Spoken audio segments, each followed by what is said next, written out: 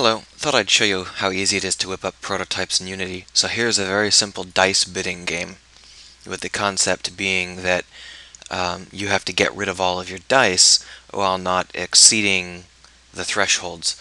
Um, the thresholds are a uh, are something that can be exceeded because it's a role-playing game sort of thing. You just lose lose stats for doing so. So in this case I've got 14 dice and 3 rails, and the rails have a maximum of 20. So if I click on one, I roll a die, and then it shoots off there, and you can see that it's 4 times 1 is 4 of 20.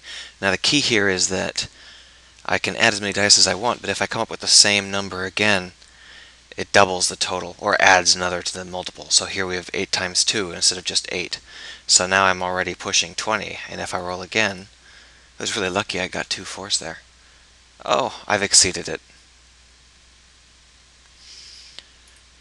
So I can split these up, and I can roll as many dice as I'd like if I don't want to wait and see what's happening. And you can see that uh, I totally failed, and that's because I wanted to show off the uh, the mechanics with a lot of dice. Ordinarily, it wouldn't be weighted quite so poorly. Um, you'd have you'd have uh, these these would all be characters, and you'd have special abilities and all sorts of cool stuff. Uh, but fundamentally, it's a game where you click and a die rolls, and the physics determine how the die lands. And um, uh, it's a very basic game to play, but has a lot of strategy behind it because there's always a chance that you'll add another value to the multiple. And this took me uh, two hours, including modeling the die.